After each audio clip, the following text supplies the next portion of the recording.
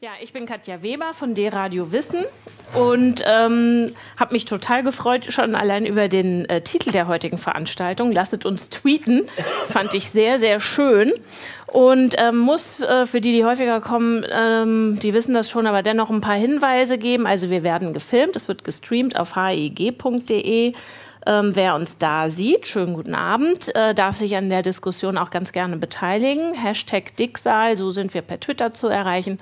Lydia, die Redakteurin heute Abend, die ruft das dann rein oder gibt es rein. Und natürlich seid ihr auch wie immer gehalten und herzlich eingeladen, dazu zu sagen, was ihr wollt. Ich weiß nicht, welchen Kenntnisstand ihr habt äh, zu diesem Thema. Meiner war vor meiner Vorbereitung ungefähr so wie der vor dem letzten ähm, digitalen Salon, wo wir über User-Generated Art gesprochen haben. Und ich habe gedacht, wenn mich wirklich irgendjemand online beobachtet, muss der sich sehr wundern und sich fragen, wie viele Personen in mir hausen, wenn ich euch jetzt nur mal ähm, vorlese, auf welchen Seiten ich war.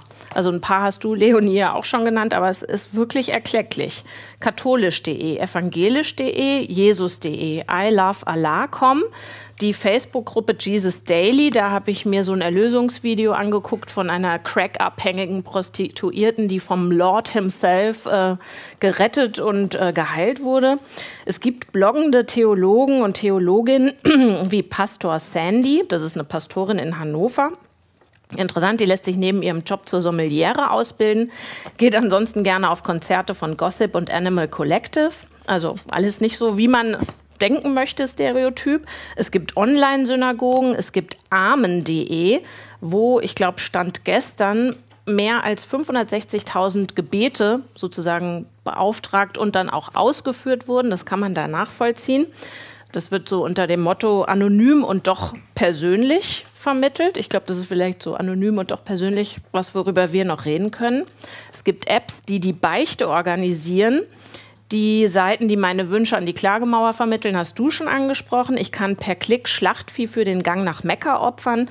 Als Buddhistin kann ich die digitale Gebetsmühle anschmeißen. Als Hindu könnte ich ein Ritual in einem indischen Tempel ordern. Es gibt tatsächlich auch ganz gute Comic-Blogs. Schwester Robusta würde ich da empfehlen, mal anzugucken.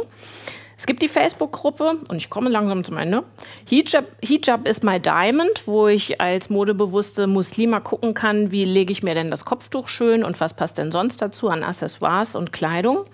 Ich kann eine Online-Kapelle besuchen und da mag man geneigt sein zu lästern, aber wenn man mal in das Andachtsbuch da guckt, ähm, hört man auf, Witze zu machen. Das ist wirklich herzzerreißend, was da drin steht. Google digitalisiert die Rollen von Qumran. Wer mag, kann Dutzende, ich glaube, sowas wie um 160 unterschiedliche Bibelausgaben online lesen. Das ägyptische Totenbuch, die Veden oder den Koran und, das haben wir vorhin noch nicht gesagt, der Papst twittert auch. Also da gibt es schon so ein bisschen was.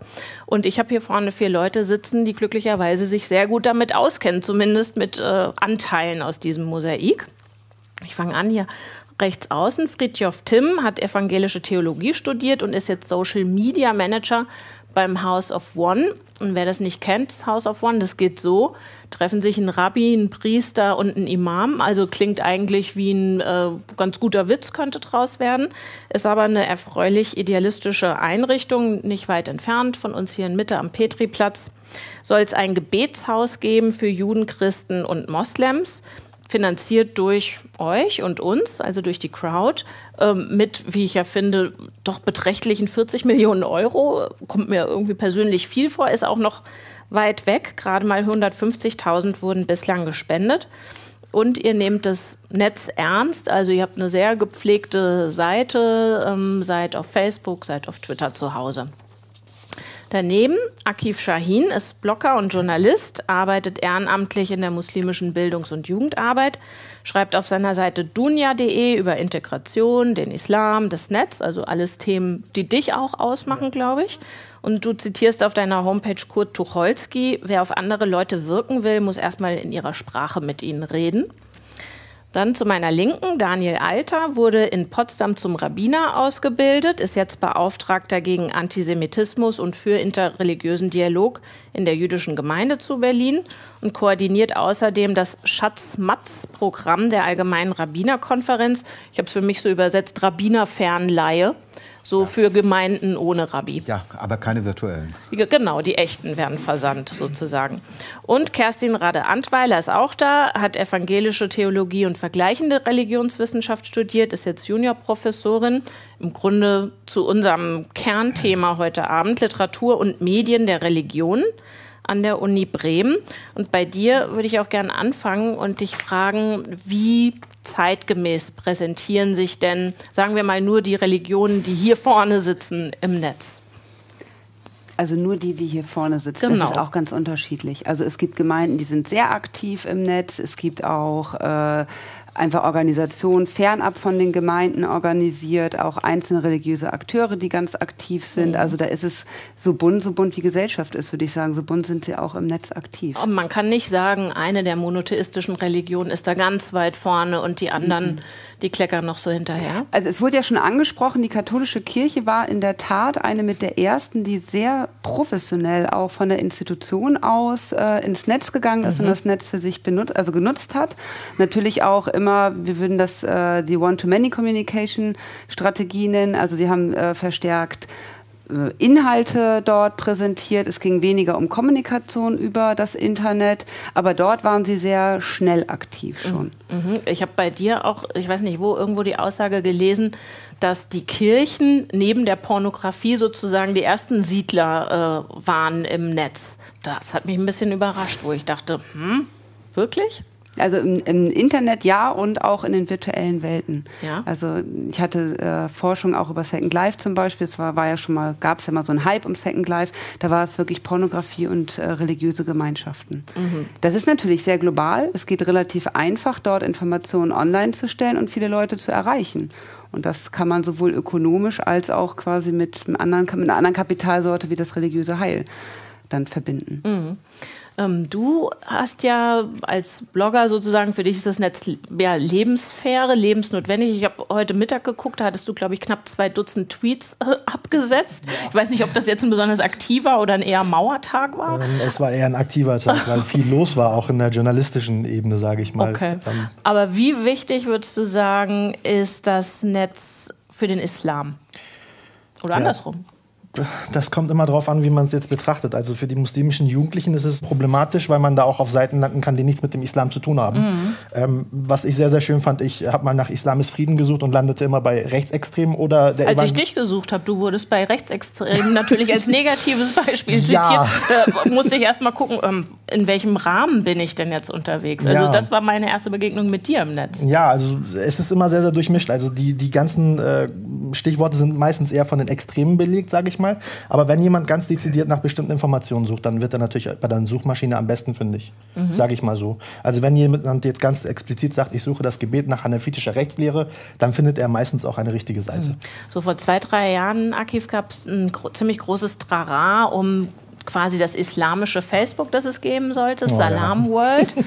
Irgendwie hat man nichts mehr gehört. Brauchte die Welt nicht, oder was? Ja, die, dieses Thema begleitet mich irgendwie auch schon seitdem. Also ich wurde immer wieder interviewt zu diesem Thema, auch immer wieder angefragt. Äh, einmal auch äh, bei Spiegel Online dann halt eben auch.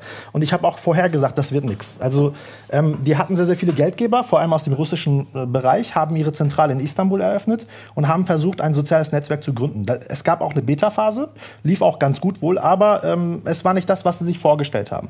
Ähm, der Hintergrund lag einfach daran, wenn man in bestimmten Ländern, wie Deutschland beispielsweise, Muslime ansprechen will, dann muss man ihnen etwas bieten. Und ein Netzwerk nur für Muslime alleine bringt es nicht, weil die Muslime letztendlich in einer Gesellschaft leben, in der sie nicht muslimische Freunde haben. Und ich gehe nun mal dahin, wo ich auch mit anderen Leuten zusammen äh, diskutieren kann und auch wo ich meine Freunde habe. Und wenn die alle bei Facebook sind, dann können sie noch so sehr ein islamisches Netzwerk aufmachen, die werden das alle nicht äh, mitmachen. Und das hat man auch in Großbritannien gegeben, gesehen. Es äh, gab dieses Projekt muxlim.com mhm, mhm. und äh, das ist auch irgendwann einfach stillgelegt worden, weil es einfach nicht mehr weiterging. Genau, die Ruinen davon sind noch im Netz, aber ja. da bewegt sich nichts mehr.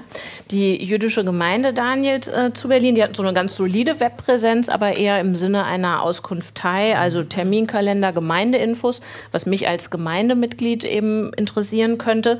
Facebook und Twitter sind für deine Arbeit nicht interessant, für eure Arbeit? Also ich persönlich nutze Facebook äh, sehr, um einfach auch Informationen abzusetzen. Ich denke, dass das ganz viele Kollegen, also andere Rabbiner in Berlin und in Deutschland weltweit auch Facebook benutzen. Also es ist aber ganz, bei ganz vielen Kollegen und auch bei ganz vielen Gemeinden ist die Notwendigkeit noch nicht so richtig angekommen. Das hatte ich jetzt auch von dir ein bisschen gehört. Das ist immer von Gemeinde zu Gemeinde, von Stadt zu Stadt ein bisschen individuell unterschiedlich. Ich denke, dass die jüdische Gemeinde zu Berlin eine ganz vernünftige Internetpräsenz hat. Da gibt es auch jemanden, der diese Homepage pflegen kann. Es gibt kleinere Gemeinden, zum Beispiel äh, die irgendwo Landgemeinden, bei denen dann auch eine ganz andere Altersstruktur da ist. Das sind oft Zuwanderer aus der ehemaligen Sowjetunion, bei denen der jüngste Mitte, Ende 50 ist. Mhm. Und da ist auch ein ganz anderer Bezug dann dazu, dazu dieser virtuellen Welt, zum Internet, zum Benutzen von Internet. Und da ist dann eben auch oft keine oder nur eine sehr schwache Internetpräsenz. Und da hat man dann auch in der Kommunikation, in der Arbeit mit diesen Gemeinden nicht das Gefühl, dass das diesen Gemeinden und den Menschen, die dazugehören, fehlt. Also als ich las, dass du sozusagen diese Rabbi-Fernleihe machst, wo dann zu ähm, zu äh, bestimmten Anlässen, also Hochzeiten und so weiter, äh, Rabbis in die Gemeinden geschickt werden, wo eben welche fehlen, die nicht ständig da sind, um die Gemeinde zu betreuen. Da dachte ich, hm, in den USA gibt es äh, Online-Synagogen, da gibt es Chats mit Was? Rabbinern. Das wäre doch auch noch ein Ausspielweg sozusagen, ohne dass man eine Bahncard 100 braucht. Ah, also damit habe ich ein bisschen ein Problem. Also ich weiß, dass es in den USA in den größten Synagogen, das sind mit die größten Synagogen der Welt, da gibt es die bekannteste und berühmteste, der Tempel Emmanuel in New York, der überträgt seine Gottesdienste live im Internet, im mhm. Livestream. Und damit habe ich dann, damit bekomme ich dann ehrlich gesagt ein bisschen ein Problem. Denn äh, der Deutschlandfunk hier, unser großer Bruder, macht das auch sonntags. Unbenommen. Aber ich, ich kann jetzt auch nur für meine Religion, für meinen Glauben mhm. sprechen. Da ist eben das gemeinschaftliche Zusammenkommen der wichtige Punkt. Also, dass eine Gemeinschaft zusammenkommt und gemeinschaftlich im Gebet vor Gott tritt. Ich weiß natürlich, dass es Menschen gibt, denen diese, die aktive Teilnahme nicht möglich ist. Mhm. Und für die, wenn jemand aus welchen Gründen auch immer das Haus nicht verlassen kann, ist sowas prima. Aber ich glaube, dass wir viel mehr mit negativen Aspekten davon uns auseinandersetzen müssen, sondern dass Leute eben nicht mehr das Haus verlassen und nicht mehr in die Synagoge oder zum Gottesdienst gehen, weil ich muss ja, kann mir das ja nach Hause streamen lassen. Mhm. Also du würdest leben, sagen, wir leben, ich glaube, wir leben in einer Gesellschaft, in der dieser Wert von Gemeinschaft viel verloren hat. Und ich mhm. glaube, ich sehe potenziell die Gefahr, dass dieser Wert von zwischenmenschlicher Gemeinschaft, und zwar nicht virtuell, sondern real existierend, dass das da noch ein bisschen mehr verloren geht. Also wie gesagt, ich finde es super, wenn jemand, der aus irgendwelchen Gründen nicht laufen kann oder nicht aus mhm. dem Haus gehen kann, sich in einer Form anbinden kann. Aber meine Wahrnehmung ist, dass es eher der negative Aspekt ist, eben, dass Leute, die eigentlich könnten, dann zu Hause bleiben, weil es viel bequemer ja. ist, sich das auch Wirklich? so verstehen Hat nicht vielleicht das, wenn man es eben könnte, zur selben Zeit, am selben Ort zu sein, hat ja einen Mehrwert, den, den du angesprochen angesprochen hast, würde ich dann trotzdem sagen, ich sitze aber lieber in der Jogginghose zu Hause? Ich, ich kann, es gibt, glaube ich, keine Untersuchungen dazu. Ich kann das nicht beurteilen. Also ich, Wir haben ja hier zwei Religionswissenschaftler. Dann werden die uns sicher was dazu sagen können. Oder vielleicht was dazu sagen können. Ich, ich, ich rede jetzt als Rabbiner aus meinem Bauchgefühl heraus. Mhm. Und äh, weil ehrlich gesagt ist dann natürlich auch die Angst dabei, unsere, ich, und ich denke, da geht es den äh, Kollegen in den christlichen Glaubensgemeinschaften genauso. Unsere Synagogen sind bei weitem nicht so voll zu den Gottesdiensten, wie wir das gerne hätten. Und äh, wenn dann noch drei von meinen aus meiner, ich sage das jetzt mal flapsig, aus meiner Kundschaft wegen dem Livestream zu Hause bleiben, dann gefällt mir das nicht wirklich. Mhm. Wie seht ihr das denn? Ihr seid ja ziemlich aktiv äh, in allen Ausspielwegen. Jetzt habt ihr natürlich den Nachteil, euch fehlt noch das Gotteshaus. Also gut, dass ihr wenigstens da an eure Kundschaft, um Daniel zu zitieren, kommt. Aber befürchtet ihr das auch, ähm, dass es so einen so ja, so ein Übertragungsverlust äh, gibt, wenn man sich nur dazuschaltet und nicht wirklich teilnimmt in Persona? Also zum einen möchte ich jetzt erstmal sagen, dass ich da voll bei dir bin und ähm, dass ich das genauso sehe. Also die, die ähm, äh, es ist nicht austauschbar, äh, dass man eben nicht zur Kirche geht, nicht in die Synagoge geht, sondern die Geme oder in die Moschee geht, Entschuldigung, ähm, sondern dass ähm, ähm, das ist Gemeinschaft ist ähm, stiftend sozusagen für die Religion, für die jeweils eigene Religion. Aber würdest du sagen, das leistet so der menschlichen Trägheit Vorschub, wenn man gar nicht mehr aus dem Haus gehen muss, um zumindest virtuell an Gemeinschaft teilzuhaben? Ähm, ich würde das anders aufzäumen, das Pferd. Ich ähm, würde sagen, ähm, es ist da, Facebook ist da, Twitter ist da und wir können nicht sagen, dass, es, ähm, dass wir uns aus diesem Raum fernhalten, sondern wir müssen auch diesen Raum Wir haben, glaube ich, 25 Millionen Facebook-Nutzer in Deutschland. Das sind ein Viertel der Bevölkerung. Ähm, wir können nicht einfach sagen, das interessiert uns nicht, ähm, wir, sondern wir müssen auch diesen Raum ähm, belegen, äh, deuten oder mit Inhalt füllen. Und dazu gehört eben auch, dass wir, äh, wie bei uns, das ist natürlich der Extremfall, wir haben sozusagen das noch nicht vorhandene Gotteshaus und ähm, sind aber trotzdem aktiv. Wir sind trotzdem Gemeinde, wir sind jüdische, wir sind christliche, wir sind die islamische Gemeinde. Mhm. Es klingt so ein bisschen, als würdet ihr nicht wirklich mit Freude in diese anderen Ausspielwege gehen, sondern nun sind sie halt da, müssen wir was damit machen. Doch, das ist total toll. Also äh, da, bin ich da gerade ganz falsch rübergekommen. Nein, es ist, äh, das, das äh, Wunderbare ist ja eben neben dieser Örtlichkeit und diesem sich verorten in der Gemeinde, in dem Ge Gebäude des jeweiligen Gotteshauses. Es ist ja so, ähm, dass wir ja auch darauf angelegt sind, in die Welt hinauszugehen. Und mhm. ähm, wenn wir dann eine Botschaft aus Peru bekommen und die sagen, danke für das Gebet, was ihr äh, auf Facebook getwittert habt, dann ist das natürlich auch ein Mehrwert, wenn man dieses Wort mhm. nutzen möchte. Was würdest du sagen, Kerstin? Kannibalisiert sich das? Ich muss gestehen, ich würde diese beiden Fässer gar nicht so separat voneinander sehen. Also ja, es wird sehr oft so gelesen, das Internet ist das nicht reale, das nur virtuelle. Und ich würde sagen, es, also von den Untersuchungen, die wir gemacht haben, wird es als Erweiterung von Realität gesehen. Und ich glaube auch nicht, dass wenn Leute jetzt sich nur virtuell einschalten, dass sie nicht deswegen genauso auch in den Gottesdienst gehen. Also dagegen spricht ja auch, wenn wir uns das Phänomen der Megachurches angucken, äh, die sehr medienaktiv sind, da sind die Gottesdienste voll. Aber sie twittern auch genauso, sie ähm, gucken sich Streams an. Ich glaube, was, was da... Was ist denn eine Megachurch? Nur mal hier für die, die jetzt äh, schnell googeln, äh, Megachurch, weiß ich gerade also, nicht. Megachurches ist ein bisschen Nomen est omen, also das sind wirklich diese sehr großen Gemeinden. In, Haben wir so eine in Deutschland, Ja, in, in Stuttgart eine ganz große. Mhm. Berlin gibt es auch eine, aber die nicht so bekannt ist. Es ist ein äh, primär amerikanisches Phänomen, vor allen Dingen von den ähm, Pfingstlern charismatischen Bewegungen, die mhm. natürlich sowieso noch nochmal auch andere Arten von Gottesdienste äh, veranstalten, das muss man auch dazu sagen. Und ähm, die integrieren sehr, sehr stark äh, die neuen Medien.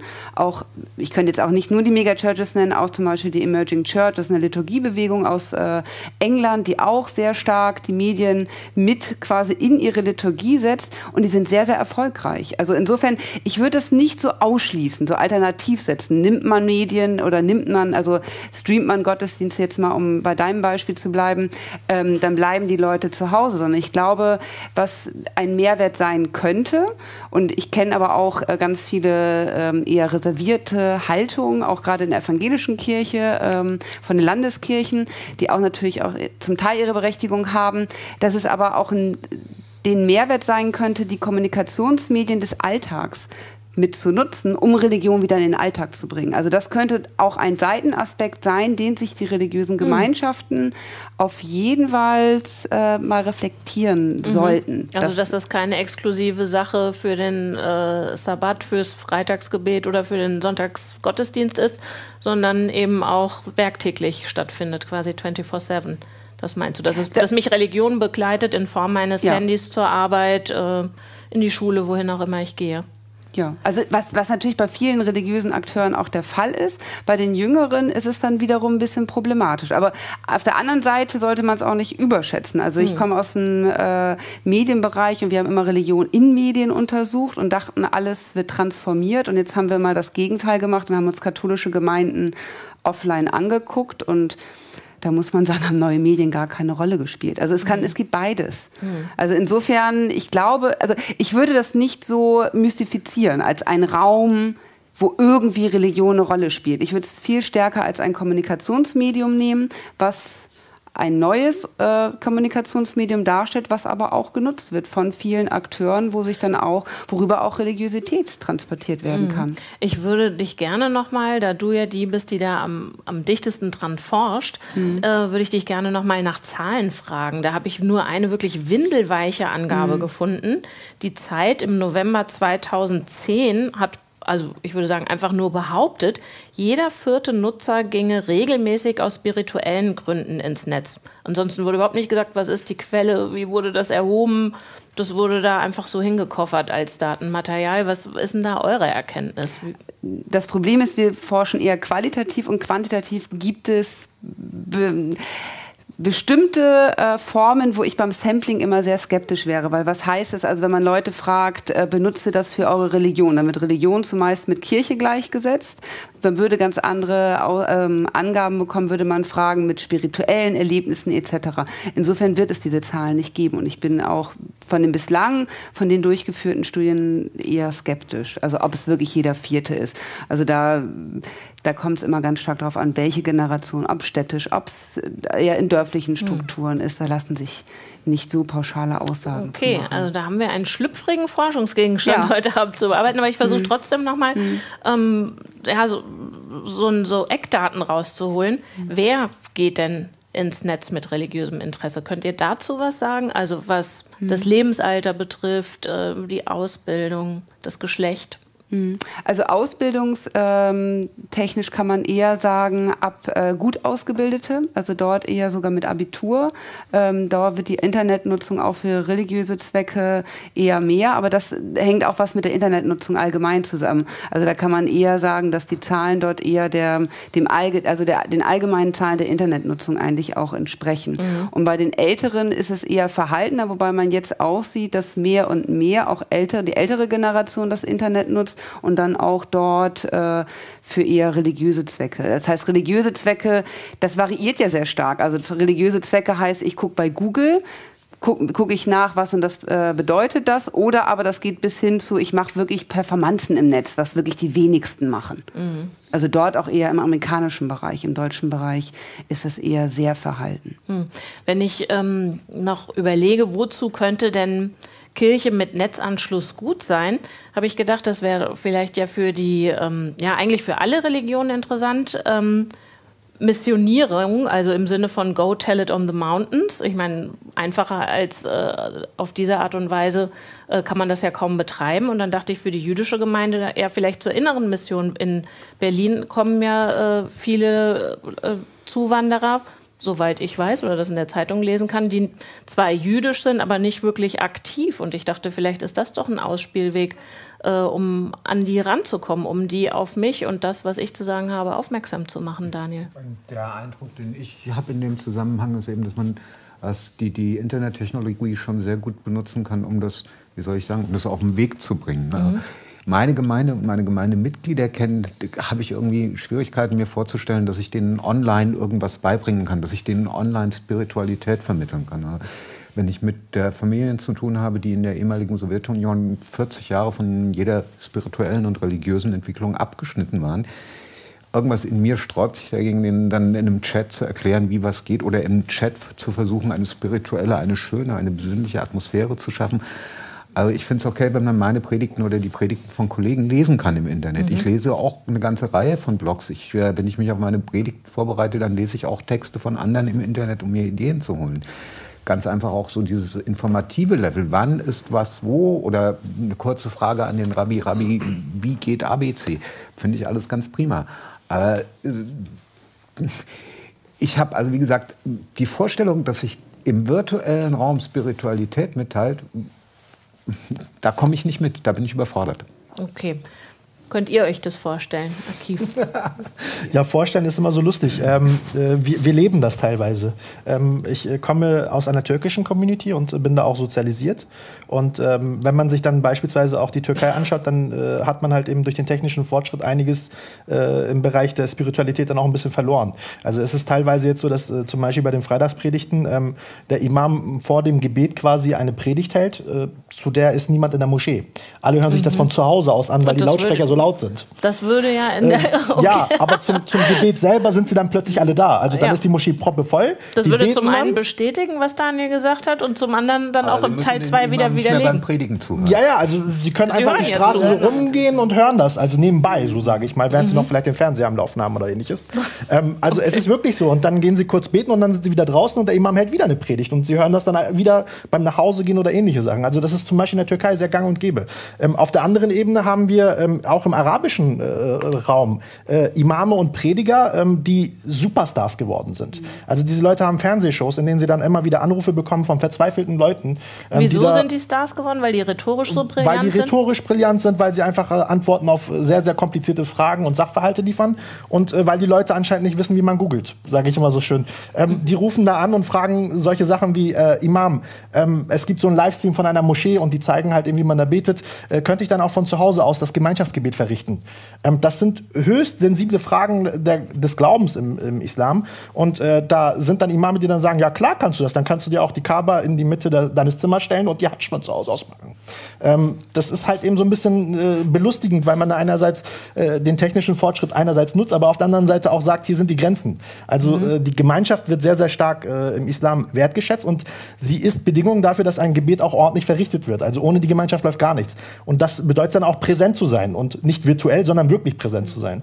Und da gibt es halt so ein paar Einschnitte, aber ähm, wir treiben es immer wieder auf die Spitze. Also gerade in Deutschland ist es äh, problematisch, beispielsweise in Bezug auf die Räumlichkeiten. Es gibt Frauenräume ähm, und Männerräume. Eigentlich kennt der Islam das gar nicht. Eine Moschee und ein Gebetsplatz, der hat dann eine bestimmte Rangfolge. Das heißt, Frauen beten hinten äh, vorne Männer, aber sie sind räumlich eigentlich nicht getrennt. Mhm. Ähm, das Problem ist, wenn die Frauen den Imam gar nicht sehen, dann muss man Abhilfe schaffen. Und die meisten Moscheegemeinden machen es dann so, dass sie sagen, wir bauen Kameras ein, der Imam wird übertragen, man sieht das, dann beten sie halt eben auch mit und sehen ihn und dann kann man das auch alles ein bisschen äh, als okay darstellen. Aber mhm. eigentlich ist es falsch. Eigentlich müssten alle in einem Raum sein und jeder müsste jeden eigentlich sehen können. Mhm. Und das sind dann so ein paar also, Aspekte. Wenn ich das jetzt richtig verstehe, würdest du sagen, der Gemeinschaft als solcher tut äh, die Übertragung übers Netz keinen Abbruch, Nein, wenn man es richtig macht? Überhaupt nicht. Und Spiritualität im Netz ist möglich. Ja, sehr sogar. Wie seht ihr das für das House of One?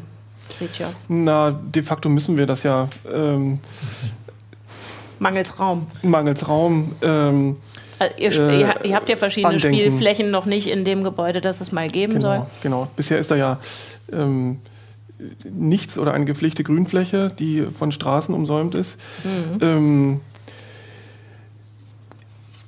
ja, also Spiritualität schon, aber natürlich auch in dem Rahmen, dass das möglich ist. Also wir, wir streamen jetzt keine Friedensandachten, die wir, die wir machen oder wir ähm, ähm, sind jetzt nicht mit Webcams irgendwie vernetzt, die nach außen den, den Stand äh, des, des Baus äh, ähm, abbilden. Aber sowas kommt ja wahrscheinlich mal, wenn der Bau wächst, oder? Kann ich mir lebhaft vorstellen. Das müssen wir noch mal gucken, ja. Also äh, es ist natürlich äh, zum einen so, dass wir, wir haben ja eine, eine doppelte Aufgabe. Also wir haben ja die Aufgabe, die, ähm, die unsere Follower-Gemeinde ähm, sowohl auf der Webseite als auch auf Twitter, Twitter und Facebook ähm, am Gebäude, an diesem säkularen Objekt in der Stadt äh, teilhaben zu lassen, an dem, was passiert, wie, äh, wie weit ist das mit den Spenden. Ähm, was, welche Veranstaltungen machen wir wo, wann und ähm, wie, ähm, wie geht es weiter. Das ist so das eine. Und das andere ist natürlich aber eben auch, weil wir eben Gotteshaus sind für die drei Religionen, ähm, das abzubilden, was eben auch Inhalt des Ganzen ist. Also eben auch. Das Aber was so ist denn zum Beispiel mit, mit Ritualen? Also ähm, ich verstehe ja die, die, Vorbehalte, die du äh, vor allen Dingen äußerst. Es gibt ja Rituale, die funktionieren nur, wenn wir zusammen sind. Also im christlichen Gottesdienst. Ähm, ähm, äh, ein Sakrament, also dazu muss ich da sein. Das kann ich nicht irgendwie als Datensatz rausspielen. Das ist richtig. Denkt ihr darüber nach, wie ihr damit künftig umgeht? Ähm, Soweit sind wir da nicht, noch, noch nicht an der Stelle. Uns geht es äh, jetzt darum, dass wir, ähm, dass wir die, äh, die wirklich physische, noch nicht eigentlich daseinende Existenz des Hauses eben doch vermitteln. Eben indem wir sagen, wir haben diese drei Geistlichen und die mhm. drei Geistlichen äh, sprechen eine Videobotschaft zu Purim äh, beziehungsweise der Rabbiner macht das an der Stelle mhm. und der Geistliche, der Christliche und der äh, Imam steht daneben. Ähm, oder dass wir sagen, wir posten ein symbolisches Bild von dem Platz mit äh, mhm. einer Stimmung, die transformiert wird und die eben der Follower-Gemeinde wünscht, äh, ich, ein gesegnetes Wochenende, ein Shabbat Shalom, ein gesegnetes Freitagsgebet. Mhm.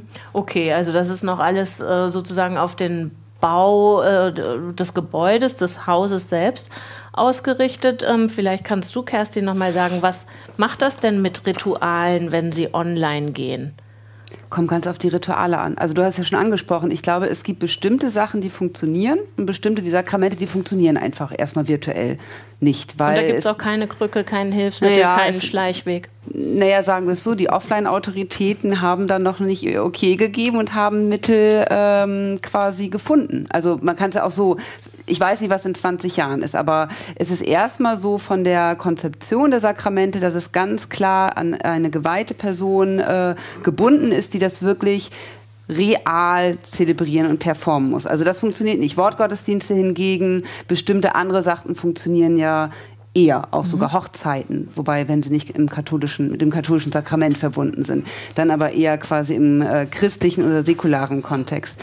Ähm, was Rituale angeht, das ist ganz spannend, denn ich habe äh, mir viele Rituale vor allen Dingen in virtuellen äh, Umgebungen angeguckt, auch in, in Spielen, die auch ganz stark gerade in den USA zu Missionszwecken genutzt werden. Und da ist man eigentlich erstaunt, denn man würde jetzt denken, Rituale werden dort sehr bunt gemacht und sehr modern, aber die sind ganz konservativ, also eher ganz traditionell, vielleicht auch, damit sie an Rituale Hast du mal ein Beispiel? Das ist eine Sache, die wir uns auch vorstellen Ja, zum Beispiel können? Hochzeiten. Mhm. Also es gab ganz viele, gerade in Second Life oder auch in Games, wo es dann äh, Hochzeiten gab. Äh, in Games natürlich eher ähm, ich meine, rechtlich sowieso nicht zulässig, aber auch äh, religiöse Akteure, die dort religiös geheiratet haben, in Second Life sehr viel. Da gab es auch von der anglikanischen Kirche mehrere Personen, die dort äh, quasi als, als Pfarrer dort auch fungiert haben und im amerikanischen Bereich sowieso. Mhm. Und jetzt hätte man ja denken können, wenn man jetzt alles hat und alles sich erbauen kann und für viel mehr, also für, für viel weniger Geld als jetzt im realen, im Offline-Leben.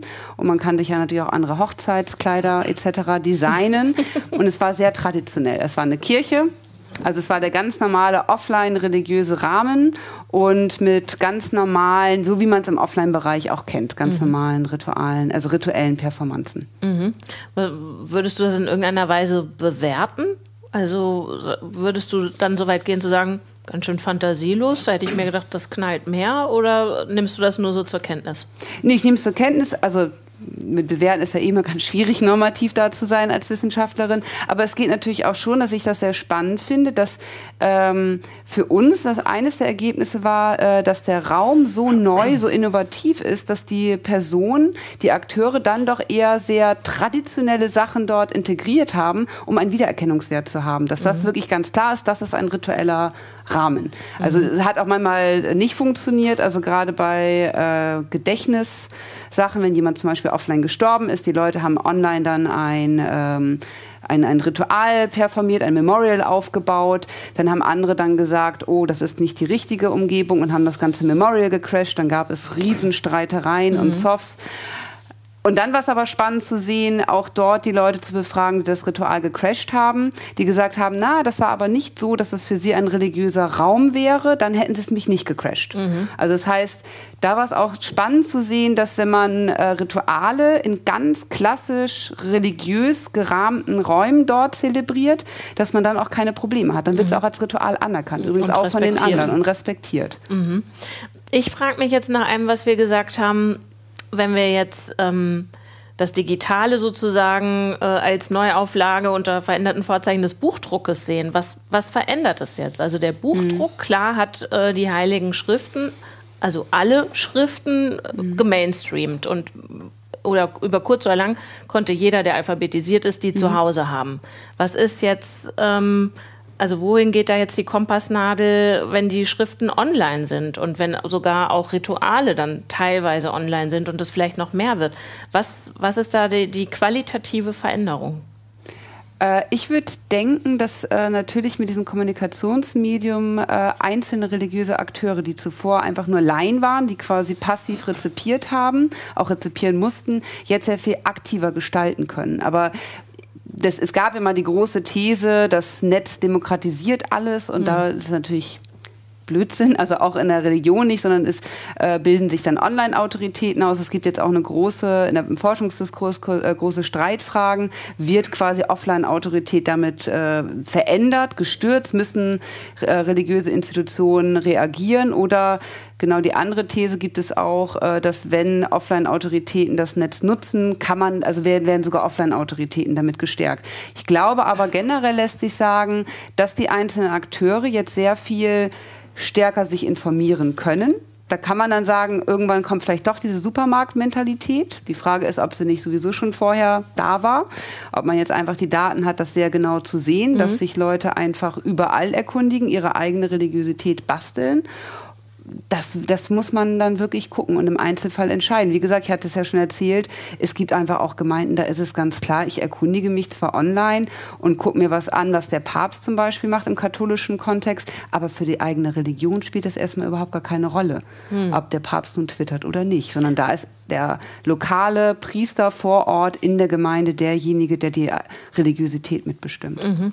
Jetzt äh, liegt der Buchdruck etwas länger zurück als der digitale Umbruch, aber ich würde trotzdem auch euch dreien noch mal gerne danach befragen, was ihr denkt, was wirklich die qualitative Veränderung ist, wenn ähm, religiöse Praxis, aber auch religiöse Theorie, Schriften und so weiter online sind. Friedjof. Ähm, also das ist ähm, mit dieser Digitalisierung das Gleiche wie ein Buch in der Hand zu halten oder ein, ein Reader, ne? Oder eben die E-Mail auszudrucken oder sie am Rechner zu lesen. Wirklich? Ähm, da passiert weiter nichts? Ist es nur ein Träger? Ähm, ich denke, dass die ähm,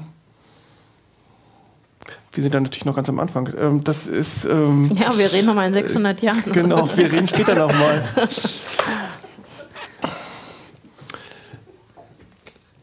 Na, dann gebe ich die Frage gerne weiter. Vielleicht, äh, wie denkt ihr drüber in der jüdischen Gemeinde über den digitalen Umbruch so wirklich als Zeitenwende oder ist es sowas, ja, ist jetzt halt auch da? Ja, es ist eine unheimliche Chance, wenn man es sinnvoll benutzt. Also es war gerade die Frage nach den Texten, nach den heiligen Schriften von Religionen, die online stehen. Das finde ich wiederum sehr gut eigentlich. Denn optimalerweise würde ja eigentlich so aus einem Selbstverständnis heraus erwartet, dass wir uns mit diesen Dingen so intensiv wie möglich und so oft wie möglich auseinandersetzen. Und wenn ich dann eben nicht immer sieben Talmud-Folianten mit rumschleppen muss, sondern nur ein Smartphone, ist das ganz praktisch. Ich habe auch schon mehrfach in jüdischem Kontext gesehen, dass ich weiß nicht, ob es diesen Ausdruck so Pray on the Way, weil wir haben auch mittlerweile alle liturgischen Texte, die man irgendwie sich aufs Smartphone laden kann, finde ich ganz prima. Das ist eine praktische, das ist eine sehr praktische und sehr positive Nutzung. Ja. Gerade wenn ich mir vorstelle, ich fahre jetzt im Zug irgendwo hin, bin zwei Stunden unterwegs und wenn ich dann diese Texte, mit denen ich mich sowieso dann auch noch gerne beschäftige, dann ganz unkompliziert auf meinem Smartphone oder Tablet habe, dann ist das erstmal eine gute Sache. Es macht es greifbarer, verfügbarer. Gerade bei vielen jungen Leuten ist es ja einfach auch so, die, die kämen ja nicht mehr auf die Idee, in eine Bibliothek zu gehen. Die gucken die googeln erstmal oder gucken im Internet nachher an. Das ist, auch, das ist dann schon irgendwo eine Stärke auch, weil es das ähm, wie soll ich sagen, weil es das verfügbarer macht, einfach greifbarer. Auf der anderen Seite, gerade bei Schülern habe ich, und das klang auch bei dir vorhin ein bisschen so an, habe ich ein bisschen ein Problem, weil wir bekommen das ganz oft mit, dass Schüler, was weiß ich, für den MSA schreibt mal eine Arbeit, macht doch was über Judentum und dann hauen die da irgendwas in die Tasten und ich MSA, mittlerer, Schul mittlerer Schulabschluss, das machen die in der 10. Mhm. Klasse, glaube ich. Mhm, ja. okay. Und wenn die bei Wikipedia landen, was ich ein bisschen flach finde, freue ich mich aber richtig, weil die können auf ganz bösen Seiten landen, in denen einfach auch ganz hasserfüllte Propaganda verbreitet wird. Und das ist dann wirklich ein bisschen ein Problem, weil da laufen junge Menschen, die einfach ihr Wissen erweitern wollen, in ganz böse Fallen unter Umständen. Also ich, ich denke, man muss es einfach auch wirklich kritisch und vorsichtig beobachten und schauen, was, was sind die Konsequenzen von dem, was wir da machen, was sind die Konsequenzen von dem, was gerade die jungen Leute damit machen. Hm. Möchtest du da noch was ergänzen, weil du ja gerade in dem Bereich auch also, arbeitest? Ergänzen ist gut. Äh, das Problem ist, dass der Koran eigentlich immer mündlich tradiert wurde. Also der Buchdruck hat uns eher dazu verholfen als Muslime, dass wir dann eher unser Wissen festgehalten haben. Aber der Koran wird heute noch eigentlich mündlich tradiert. Wir haben ähm, Personen, die dann halt in den Koran auswendig können und die wir Hafes nennen und die bewahren quasi dieses Wissen als Person und als Mensch Menschen auf. Ähm, ob der Koran nun schriftlich vorliegt oder nicht, ist eigentlich Nebensache. Man muss ihn halt eben nur lesen und auch verstehen. Ähm, und da beginnt eigentlich das Hauptproblem. Diese Digitalisierung hat eher dazu geführt, dass unsere heilige Schrift, der Koran, ähm, im Netz quasi und auch äh, im, im, digitalen Zeitalter eigentlich äh, problematisiert wird, weil man nicht mehr weiß, wie man die Schriftzeichen genau hinstellen soll. Es gibt verschiedene Fonts, es gibt verschiedene Schriftarten, in denen man einfach versucht, den Koran dann hinzustellen und das funktioniert alles nicht eins, oder, äh, eins zu eins mit dem, was man eigentlich früher handschriftlich mal hingeschrieben hat. Mhm. Ähm, da gibt es halt eben Problematiken. Das, das würde darauf hinweisen, dass es dann eben doch nicht so ist, dass da mh, mm, ja solche hoheitlichen ähm Strukturen aufgebrochen werden, weil die liegen dann nee. halt eben woanders, eben, bei dem, der das eben. online also bringt. Das, das ist das eine. Das andere ist, ähm, dass gerade, ähm, wenn, wenn jemand, der sich eigentlich mit dem Koran nicht auskennt und auch nicht mit, mit der Materie und auch nicht diese Methodik gelernt hat, wie man den Koran liest, wie man ihn interpretiert und wie man bestimmte Verse zu verstehen hat, dass er dann ganz einfach in eine Extreme wandern kann, die wir alle nicht wollen, ob es nun liberal ist oder erzkonservativ. Ähm, das kann sehr, sehr problematisch enden und das sehen wir auch äh, im Diskurs in Bezug auf den Islam. Wenn jemand ankommt und einfach einen Vers aus dem Zusammenhang herausreißt und sagt, hier hast du den Vers, so steht es im Koran, so muss es sein. Nein, ähm, das ist es eben nicht. Und deshalb tue ich mich immer sehr, sehr schwer damit. Und das andere ist, äh, was ich aus meinem persönlichen Umfeld und auch selber immer wieder erlebe, ist, dass jemand eine App hat, ja, der hat da verschiedene Sachen drin, den Koran, irgendwelche Hadith-Geschichten, also Überlieferungen vom Propheten, er hat irgendwelche Bibliotheken und alles sowas und er prahlt damit herum und sagt, hier habe ich alles, brauche ich, ist nur noch ein Fingerzweig weg der hat aber nicht das Wissen darüber. Er hat zwar vor Ort, aber er ruft es erstens nicht ab und zweitens ist es für ihn einfach nur so da. Also äh, ich kenne das äh, bei meinem Vater besonders, dass er da einfach gesagt hat, Junge, die Leute haben zwar den Koran zu Hause, aber sie lesen ihn nicht mehr. Das ist halt eben das Problem. Sie haben alles auf der App, aber sie lesen es nicht, sie verstehen es auch nicht. Hm. Und deshalb würde ich da eher sehr distanziert dran herangehen.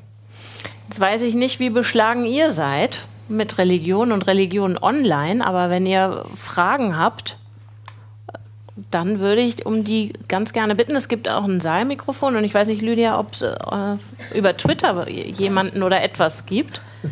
Aber jetzt äh, vielleicht erst der Herr und dann ja. kannst du ja nochmal sortieren, was du vortragen möchtest. Ja, mir kommt eine ganz einfache Frage. Äh, es ist ja zurzeit ziemlich in der Diskussion die ähm, Aktion, die bei den Banken läuft, die Kirchensteuer äh, sozusagen zu bedienen. Gibt es inzwischen denn auch kostenpflichtige Apps, die sagen, ja, wenn du hier bei mir äh, einsteigen willst, dann zahlst du monatlich oder im Jahr so und so viel? Das wäre eine Frage. Religiöse Apps. Religiöse Apps, ja, natürlich, klar. Also ist mir in der Vorbereitung nicht begegnet, würde vielleicht auch der Idee zuwiderlaufen, aber ich äh, gebe die Frage gerne an euch weiter. Ist euch da was bekannt, dass sozusagen mit Religion im Netz Geld verdient wird? Ja. Ja? Ja. Ja, bitte. Daniel. Äh, ich lasse Akif gerne den Podcast. ich hätte jetzt gesagt, der Rabbi vor. Also, also ich, bin, ich bin tatsächlich ein Laienprediger, da muss man ja immer wieder sagen. Ähm, äh, äh, es, es, gibt wohl, und, und, das finde ich eigentlich ein Unding, es, es gibt wohl äh, Rabbiner, die verschiedene Services, rabbinische Services, Dinge, die ein Rabbiner für Menschen tut, auf virtueller Ebene an, äh, anbieten. Da gibt es dann ähm, unter anderem gibt es Rabbiner, die dann Konversionen zum Judentum online durchführen und den mhm. trifft man dann irgendwo am Flughafen von Barcelona und drückt ihm 100 oder 200 Dollar in die Hand und dann kriegt man ein tolles Zertifikat. Äh, muss ich jetzt noch sagen, was ich davon halte? Oder? nee, ich, ich glaube nicht. Und jetzt der also, Laienprediger. Äh, war, war ein Beispiel. Ne? Also das äh, Beispiel kenne ich auch äh, von einigen Imamen, die dann beispielsweise für Hochzeitszeremonien dann sehr, sehr viel Geld auch in die Tasche dann letztendlich reinstecken. Als App kann man sagen, dass es da bestimmte Bereiche gibt. Also ähm, der Islam kennt halt eben einmal die rituelle Schächtung, ähm, gerade in Bezug auf äh, bestimmte Feierlichkeiten wie das Opferfest. Und da ist es jetzt so, dass es da verschiedene äh, Hilf humanitäre Hilfsorganisationen gibt, die auch Apps haben, in denen man online spenden kann. Und dann wird quasi diese, dieses Schächt dann irgendwo auf der Welt für Bedürftige geschächtet. Das ist das eine. Dann gibt es aber auch die Almosen. Ähm, ja, Abgabe, nicht Steuer, aber Almosenabgabe, Zakat. Ähm, das ist sehr problematisch, weil man die eigentlich lokal vor Ort den Bedürftigen zukommen lassen muss als Muslim. Ungefähr 200 Prozent des Vermögens. Ähm, man soll sie eigentlich im Umfeld verteilen und zwar an die Bedürftigen. Jetzt ist es leider so, dass diese ganzen humanitären Hilfsorganisationen dieses Geld einsammeln und dann irgendwo auf der Welt verteilen. Weil sie sagen, in Deutschland braucht es sowieso keiner, alle sind versorgt.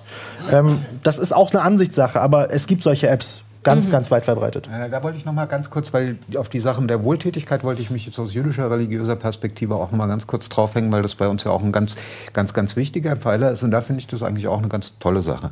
Es gibt ganz viele Fundraising-Projekte, die dann auch virtuell und tatsächlich als E-Mail-Projekte irgendwo anlaufen. Und das wiederum äh, aus jüdisch-religiöser, aus rabbinischer Perspektive geht mir da das Herz auf, weil dann haben wir Situationen, dass der Empfänger einer Spende, der auf die Spende angewiesen ist, den Spender nicht kennt. Und das ist für uns eine Idealsituation der Spende, weil dann eben mhm. auch keine Abhängigkeiten und keine, keine Schuldgefühle mhm. und ähnliches entstehen können. Finde ich ganz prima. Dieses Fundraising für wirklich positive, vernünftige Zwecke auf virtueller Ebene finde ich eine klasse Sache. Mhm. Und da, das finde ich wiederum eine sehr sinnvolle Nutzung. Mhm. Da sind die Muslime aber anders. Also bei uns geht es eher darum, dass, dass, dass es dem Muslim eigentlich wehtut, dass er da von seinem ganzen Vermögen was für die Bedürftigen abgeben muss. Und er sich dann auch so ein bisschen sein Herz erweicht und dann vielleicht sogar noch mehr abgibt. Also wenn er auch noch jetzt beispielsweise bei einer armen Familie mit sechs Kindern dann sieht, dass es denen nicht so gut geht, dann wird er sich vielleicht noch mal ah. überlegen, vielleicht ein bisschen mehr dann zu geben. Dann wird doch noch ein Schein Also es liegt da schon ein bisschen so, dass wir da sagen, den direkten, also also der direkte Weg muss schon da sein. Aber, aber das Interessante ist, halt ist unglaublich wichtig, dass der Empfänger nicht unbedingt weiß, keine, keine Dankbarkeitsgefühle haben mhm. muss, sondern dass er seine Würde bewahrt. Deswegen finde ich diese Anonymität Also das ist zum Beispiel sehr, sehr, interessant. Also die Würde bewahren spielt auch bei uns sehr, sehr viel, sehr, sehr große Rolle. Also man darf da jetzt auch nicht irgendwie versuchen, diese Abhängigkeit hinzubekommen. Aber man muss es letztendlich spüren und deshalb muss man auch wissen, wem man es eigentlich gibt. Friedhof, das klingt nach einer interessanten Diskussion, die dann im äh, House of One mal zu führen ist. Genau. Wohltätigkeit und Almus. Online-Chat mal führen. ja, oder wenn das Haus da ist, auch in Fleisch und Blut. Genau, also spenden wir noch ein bisschen. Äh, um es zusammenzufassen, ja, gibt es auch. Halt alles von äh, Dingen, die hier vorne sinnvoll erachtet werden, bis hin zu Nonsens und Geschäftemacherei. Und äh, Lydia, du hattest, glaube ich, noch irgendwas. Geopop.de fragt, ähm, ob sich religiöse Internetnutzer vorwiegend in ihrer eigenen Filterbubble bewegen oder sie auch durchbrechen. Also nur und das damit angucken, ist nicht nur die eigene Religion gemeint, sondern auch verschiedene Strömungen innerhalb der Religion. Mhm. also du, du säufst so, als wolltest du antworten. Ich hätte ansonsten gedacht, äh, Kerstin ist befugt, aber vielleicht Ladies macht first. Ich nee, nee, nee, nee, Also das ist äh, sehr problematisch. Ich äh, kenne viele Muslime, die eher so in ihrer Bubble dann weiterleben und sagen, ich möchte mit niemandem etwas zu tun haben. Ähm, aber es gibt auch sehr, sehr viele, die dann einfach sagen, hey, ähm, es macht Spaß auch mal sich anzuschauen, was die anderen Religionen tun. Und äh, da macht es mir zum Beispiel sehr, sehr viel Spaß, immer auch beim Judentum mal vorbeizuschauen und zu gucken, was sie machen. Ähm, ich habe let letztens auch wieder äh, beim St. Pauli-Spiel eine Jüdin dann auch äh, kennengelernt, die dann auch begeisterte St. Pauli-Fan ist und ähnliches. Und da guckt man sich dann halt eben so ein bisschen gegenseitig so auf die Tweet-Timeline und schaut, was macht eigentlich der Muslim gerade. Und ich dann immer beim Sabbat, was macht sie gerade? Sie backt da immer irgendwie so einen Kuchen. Ich weiß nicht, was es genau ist, aber ja, also äh, auch solche Kommentare wie Lailatov und ähnliches. Ich finde das einfach sehr schön. Okay, ne? also Lailatov das bedeutet? ist ja eine Form von Chat auch, das ist eine Form von Unterhaltung, finde ich auch einfach ja, ja, cool. Also, was, was ist Leila so, für alle, die, die nicht... Ah, okay. Also, äh, okay. Äh, es macht einfach Spaß, sage ich mal. Und äh, viele meiner Freunde machen das auch. Also man guckt sich da einfach mal an. Ähm, auf der anderen Ebene ist es einfach, es gibt das auch ins, auf institutioneller Ebene. Also wir haben in Hamburg beispielsweise den interreligiösen Dialog.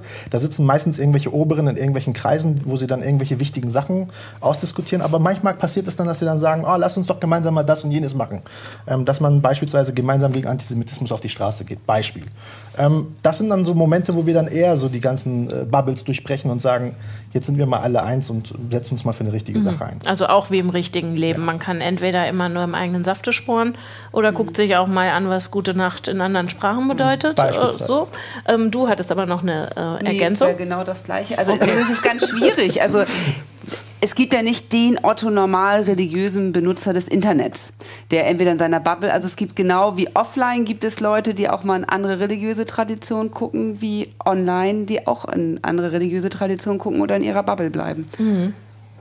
Also bei uns ist es so, dass der Rabbiner zum Beispiel Bitte. keinen Twitter-Account hat, meines Wissens nach, ähm, der Imam sehr aktiv ist und der Pastor sich so dazwischen bewegt. Mhm. Na gut, also, aber die machen ja den praktizieren ja den Austausch so oder so. so oder so, aber die sind natürlich, die sind so, sowohl in der, in der Twitter-Welt sozusagen dort, also der Imam insbesondere, ähm, und ähm, dann eben auch in Real Life, genau. Hier vorne gibt es, glaube ich, noch eine Frage oder dort, genau, bitteschön. Ähm, ja, ich hätte noch mal eine Frage zu dem äh, Potenzial und der Reichweite von tatsächlich religiösen Performanzen, die man online machen kann es wurde schon ganz viel darüber geredet, da gab es auch unterschiedliche Positionen, inwiefern die leibliche Anwesenheit von anderen Menschen, das Wahrnehmen, dass mich jemand wahrnimmt, wenn ich was mache, dass das anscheinend sehr wichtig ist. Und ich wollte noch mal fragen, was es denn für Abgrenzungskriterien gibt eigentlich zwischen dem, was online möglich ist und dem, was dann eben nicht mehr online möglich ist. Ähm, also ich würde zum Beispiel auch gerne wissen, welche Position gegenüber der Ortslosigkeit äh, die einzelnen äh, Menschen im Podium haben. Es ist ja sehr hilfreich, wenn man das irgendwie deterritorialisieren könnte. Es ist vielleicht gar nicht notwendig, dass man für bestimmte Dinge anwesend sein muss. Und das könnte ja auch sehr viel Konfliktpotenzial wegnehmen. Oder ist äh, das sich einfinden an einem spezifischen heiligen Ort irgendwie tatsächlich notwendig? Also wo genau ist die Abgrenzung welche Typologien von religiösen Performanzen könnte man sich vorstellen? Und wo hört es dann aber definitiv auf? Ich glaube, das ist eine Frage an dich, oder? Nee, da, Daniel, ich glaube eher an die, die einzelnen die religiösen Gemeinschaften. Ja, ich, ich, könnte dazu jetzt äh, einigermaßen Bitte. spontan was sagen. Also, ja, und auch, auch das ist ganz ähnlich, wie Akif das dargestellt hat aus, äh, für den Islam. Ähm, wenn wir das Optimum, das wir anstreben, ist ein Gemeinschaftsgebet, eine Gemeinschaft von zehn jüdischen Menschen, die gemeinschaftlich im Gebet vor Gott steht. Also da ist irgendwie so, das impliziert ganz viel an physischer Nähe. Nicht nur, und, und, die finde ich irgendwo im virtuellen Raum überhaupt nicht wieder. Es sind tatsächlich zehn Menschen, die in einem Raum zusammenkommen, um gemeinsam unmittelbar in Gottes Anwesenheit zu treten. Und die sich auf den Weg machen dorthin, um, um in diesen Raum reinzukommen. In, ja die, die, Räume sind dann auch oft so gestaltet, dass ähm, ganz viele jüdische sakrale Räume sind so gestaltet, dass du aus dem profanen Lärm draußen durch mehrere kleine Hallen oder Höfe schließlich in den in das auf Englisch würde man Sanctuary, in den eigentlichen Gebetsraum kommst, wo du dich mit deiner Gemeinde, mit deiner Gemeinschaft im Gebet direkt in der unmittelbaren Gegenwart Gottes vereinbarst. Das ist eine, ich weiß, eine Vorstellung, die viele sicherlich nicht teilen können, aber das ist eine unserer grundlegenden Vorstellungen von Gebet. Und ist, deswegen ist es, weil das ist für mich der Grund, warum ich mit äh, mit der Vorstellung eines virtuellen Gottesdienstes, einer virtuellen Hochzeit, einer virtuellen Beerdigung oder was auch immer wirklich einfach, naja, also habe ich einfach mein Problem mit. Und ähm, aber leicht jetzt äh, flapsig gesagt, ich habe verstanden, dass das würde eventuell auch Konfliktpotenzial herausnehmen. Also bei uns wie war das gemeint? Also, wenn, man, wenn man sich überlegt, dass es spezifische Orte gibt, an denen es notwendigerweise irgendwie mehr bedeutet, also Jerusalem zum Beispiel oder ähm, diese Kirche, äh, ich muss unbedingt in dieser Kirche heiraten. Wenn man sich überlegt, dass wenn jetzt tatsächlich gleichberechtigte Performanzen religiösen Gebets im Internet anerkannt würden, dann äh, würde das mhm. ja sehr viel öffnen und sehr viel bewegen. Dann muss ich dafür nicht irgendwo hingehen, sondern dann ist das äh, genau dasselbe. Das, dieselbe Frage wäre für Beichtstuhlpraktiken oder Aber ich glaube, das würde Konflikte um heilige Stätten in Jerusalem in keiner Weise entschärfen, oder? Also, oder verstehe ich äh, deine Frage nicht richtig? Das würde auf jeden Fall die Tatsache, dass äh, die Ortsgebundenheit aufgelöst wird, das würde zumindest viel in vielleicht möglicherweise verschieben. Das ist mit, mit der Auflösung Aber das, das ist genau die Frage, kann man das? Dem, dem, dem sind Grenzen gesetzt, denn äh, sowohl in der islamischen als auch in der jüdischen Tradition hat Jerusalem einen ganz spezifischen Stellenwert. Also ich, Vielleicht sagst du noch was über die islamische Tradition dazu. Aber das ist der Ort, an dem Gott seine Gegenwart auf Erden weilen ließ, einstmals, und an dem er sie wieder weilen lassen wird. Also das ist eine Vorstellung, die kann man in einen friedlichen Kontext einbetten. Da bin ich auch, das ist mir auch sehr wichtig und da, da bin ich auch sehr bemüht drum. Aber das ist eine Vorstellung, die kann man nicht irgendwo in den virtuellen Raum verschieben. Aber ich meine, man könnte ja, wenn man Gottes Gegenwärtigkeit in einem Online-Gebet annimmt, dann hätte man ja schon eine Verschiebung von verschiedenen Autoritäten und von verschiedenen territorialen Festlegungen. Ja, aber ich glaube, da hat Daniel ja, ja, schon in der ersten äh, Antwort widersprochen. Aber, ne? aber die, diese, Wahrn diese, Wahrnehmbarkeit Gottes in, in, einer, in einem Online-Minyan, in einem Online-Gebetsquorum, wie gesagt, vielleicht liegt es an mir, aber da komme ich nicht mit.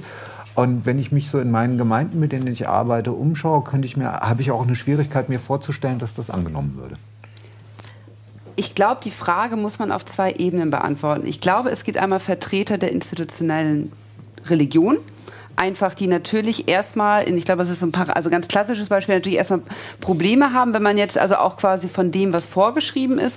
Wenn man aber einzelne religiöse Akteure befragt, gibt es welche, die mit einer Ortsungebundenheit überhaupt gar kein Problem haben. Für die übrigens dann auch natürlich Gott in dem virtuellen Gebet ist, Gott auch in diesem virtuellen Raum sind, die auch zum Beispiel eine virtuelle Gemeinschaft als völlig reale Gemeinschaft mit, sei es äh, quasi Personen, die durch Avatare personalisiert vor einem stehen, dann auch als religiösen Raum anerkennen. Aber ich glaube, das sind einfach zwei unterschiedliche Ebenen und es gibt religiöse Akteure, die fernab von dem, was sich vielleicht auch religiöse Vertreter erstmal denken, das als völlig problemlos anerkennen. Mhm. Ich glaube, ähm, das ist ein, ein Knackpunkt generell mhm. hier für die Diskussionsrunde. Wir waren auch schon mehrfach an, an dem mhm. Punkt. Dass ich glaube, die Frage ist, wie definierst du für dich die Begriffe real und mhm. virtuell? Und je nachdem funktioniert das sozusagen genau. als befriedendes Element oder auch eben nicht.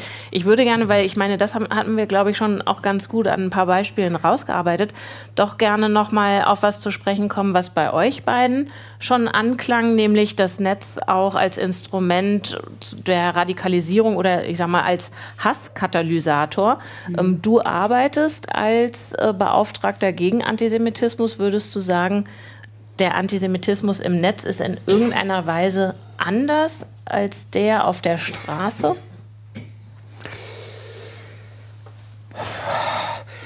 Woran ich denke, wenn ich von Antisemitismus bei dem, was ich vorhin sagte, über Jugendliche, die für die Schule irgendwo was suchen, dann dachte ich in erster Linie, es gibt so Seiten, die stellen sich auf den ersten Blick ganz wissenschaftlich dar und dann liest man irgendwie und so nach fünf Minuten wird der Beweis erbracht, dass die Juden in ihrer Religion schon seit 2000 Jahren täglich Menschenopfer praktizieren.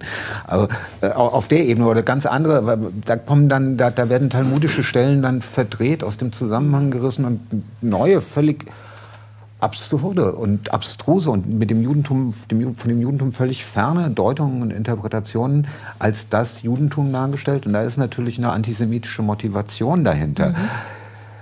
Es ist auch ein, ich denke, der Antrieb ist dasselbe. Der Antrieb ist dasselbe wie bei den Menschen, die auf den Demos in diesem Sommer gerufen haben, Hamas, Hamas, Juden ab ins Gas. Ja, also das, da, da ist, der Antrieb ist kein Unterschied. Die Erscheinungsform letzten Endes ist wahrscheinlich schon irgendwo unterschiedlich. Aber, und die Erreichbarkeit natürlich, das ist dann das. Ja, vor allem ist es halt auch die, die, das, und das ist das nächste, womit ich ein Problem habe, diese Anonymität des Netzes. Ich habe ja die Möglichkeit, über äh, technische Spielereien das irgendwo so einzustellen, dass ich nachher nicht mehr auf auffindbar bin, dass ich strafrechtlich nicht mehr belangbar bin. Äh, ja, ich habe das Internet über so Chats kennengelernt. Ich bin dann am Anfang auch sehr in interreligiösen Foren unterwegs gewesen und da lernst du Leute auch im virtuellen Raum kennen und die stellen sich dann ja auch irgendwie dar. Und so in den ersten anderthalb Jahren, wenn ich jedes Mal, wenn ich dann einen real gesehen habe, war das ganz anders, wie sich das im virtuellen Raum dargestellt hat. Von daher, hm, das ist auch so ein Teil dessen, was da so meine, wie soll ich sagen, meine Reserviertheit gegenüber dem Internet als Transportinstrument für Spiritualität wiedergibt. Äh, ganz oft da meine, der Troll oder der Fake, das ist ja auch ein stehender Begriff im Internet. Und mit denen müssen wir uns dann halt, gerade wenn es um Religion geht, gerade wenn es um Religion geht, auch auseinandersetzen. Was würdest du denn sagen? Ich habe dich zitiert gefunden in einem Spiegel Online-Artikel ähm, von 2013. Da geht es um Facebook als den größten Sündenfuhl und Verderber muslimischer Jugendlicher, lauter leicht bekleidete Frauen da und so. Und das finden manche nicht gut. Und da wirst du aktiv zitiert mit, gibt viel schlimmere Gefahren im Netz für muslimische Jugendliche, Antisemitismus, Extremismus und auch gezielte Islamfeindlichkeit. Vorhin klang das schon mal bei dir an. Was würdest du denn sagen, wie groß ist denn diese Gefahr, dass das das Radikalisierungsinstrument ist für junge Dschihadisten und die Religiosität ins Kraut schießt? Also wir haben das Problem, dass gerade jetzt im, auch in Bezug auf den IS äh, immer wieder sehr deutlich wird, dass es da halt eben bestimmte radikale Gruppierungen gibt, die bestimmte Themen äh, in ihrer also aus ihrer Perspektive heraus äh, verbreiten. Und ähm, wir hatten das allerdings auch vorher mit anderen Gruppierungen, die eher ähm, gewaltnah und nicht Gewalt befürworten, aber gewaltnah galten, wie Hizbut Tahrir oder auch ähnliche Gruppierungen, die auch sehr, sehr stark den Anti-Amerikanismus einfach äh, in ihren ähm, Gemeinden und auch in ihren Jugendgruppen quasi verbreitet haben. Aber auch den Antisemitismus. Und ähm, das Problem ist, dass im Netz alles enthemmt ist. Also sie haben da äh, teilweise auch Leute, die auch mit Klarnamen antisemitische Sachen dann mhm. auch von sich geben können.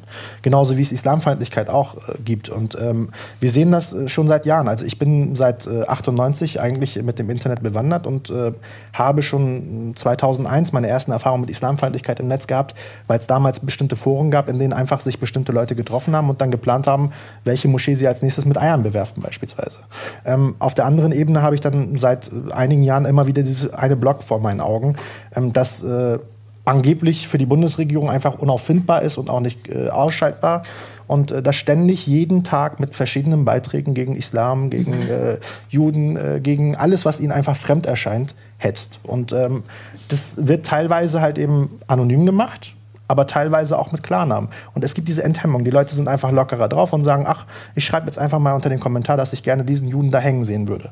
Also solche Leute gibt es und ähm, sie können da nicht viel dagegen unternehmen. Sie könnten die Seiten sperren, aber dann suchen sich halt eben neue Plattformen. Mhm. Das wäre die andere Lösung. Mhm. Ähm, ich bin da immer unschlüssig. Natürlich ist sowas äh, tatsächlich äh, ließe sich ja auch juristisch ahnden wenn man es denn wollte, wie, wenn ich dich richtig verstehe. Ja. Aber ich frage mich dennoch manchmal bei so herablassenden Kommentaren und ähm, das sehen wir ja auch bei den Radioanstalten, dass einfach die, die User leichter drauf sind, auch irgendwie mit Schmähungen oder so Sachen, die ich dir nicht direkt ins Gesicht sagen würde, die äh, schicke ich dir aber schon vielleicht irgendwie als Kommentar hinterher. Und da frage ich mich manchmal, hat das nicht vielleicht sogar fast auch eine wenn man es denn so möchte, eine gute Wirkung, weil man wenigstens diese Haltungen sieht. Die waren vorher für mich gar nicht so sichtbar. Ja, jetzt erinnere ich mich so ein bisschen an Pegida.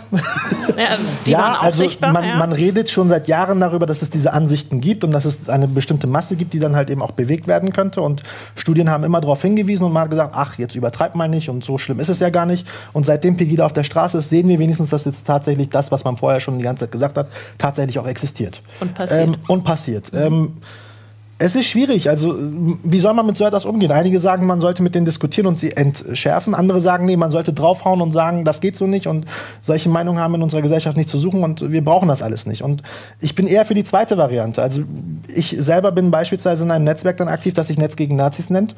Bin da immer wieder mit dabei und dann sucht man halt eben immer wieder, wenn man dann bestimmte Inhalte gesehen hat, den Kontakt zu den Betreibern oder halt eben zu den Stellen, wo man das einfach melden kann. Es gibt jugendschutz.net, wo man beispielsweise Videos melden kann, ähm, die dschihadistische Propaganda in in, auf YouTube verbreiten. Und glücklicherweise sind die auch mittlerweile so professionalisiert, dass sie da auch mhm. bestimmte Elemente haben, wo sie dann bei YouTube einfach sagen, ich markiere das und dann nimmt YouTube das auch ernst. Aber mhm. wenn ich mhm. das als Einzelner markiere, passiert das eher nicht. Ähm, bei den Kommentarspalten, da denken auch die Journalisten auch ziemlich äh, lange darüber nach, was sie damit machen sollen. Also manchmal ist es jetzt so, dass in der Welt, wenn ein Artikel zum Judentum erscheint oder auch zum Islam, dass dann einfach die Kommentare gar nicht mehr freigeschaltet werden. Mhm. Weil dann gesagt wird, wir wissen schon, was da kommen wird, wir lassen es einfach sein.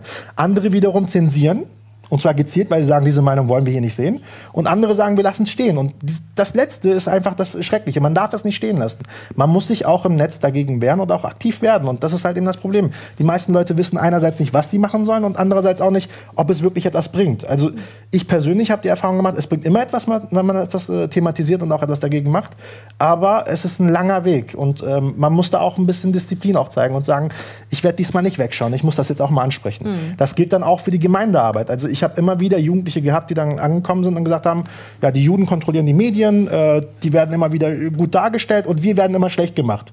Und dann diskutiert man mit ihnen darüber und versucht sie halt eben auf den, auf, auf, auf von dieser Schiene auch wegzubekommen.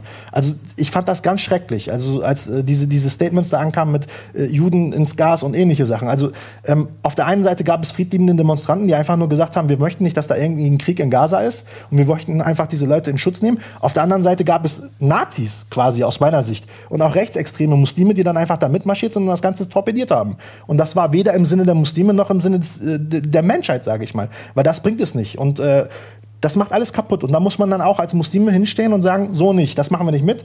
Und das fand ich zum Beispiel auch sehr, sehr schön, dass man gemeinsam auch mit den, mit den ganzen Gemeinschaften und auch mit der Bundesregierung dann auch ein Statement abgesetzt hat nach diesen schrecklichen Vorfällen in, äh, in Paris. Einmal bei Charlie Hebdo, aber auch in einem jüdischen Supermarkt. Also, okay, jetzt sind wir allerdings schon seit geraumer Zeit in der realen Welt, bei ja. sämtlichen Beispielen, von denen du Ja, also in der virtuellen Welt, wie gesagt, also Jugendschutznetz ist eine ganz gute Adresse, Netz gegen Nazis ist eine sehr gute Adresse, ähm, aber auch die Amadeo Antonio Stiftung macht sehr, sehr gute Arbeit und das mhm. sollte man immer verfolgen und nach Möglichkeit auch unterstützen, sei es finanziell oder auch selbst. Ich würde gerne noch mal fragen, ob ihr Fragen habt. Jetzt läuft die Zeit so ein bisschen davon. Hier vorne nochmal der Herr. Und ich weiß nicht, äh, zeigt ihr mal alle, die, die ihr noch was fragen möchtet? Nee, dann ist das, glaube ich, die letzte Frage aus dem Publikum. Oder gibt es bei dir noch was, Lydia? Ähm, da ich selbst auch in der Wikipedia aktiv bin, habe ich Ihren Beitrag vorhin mit Interesse gehört.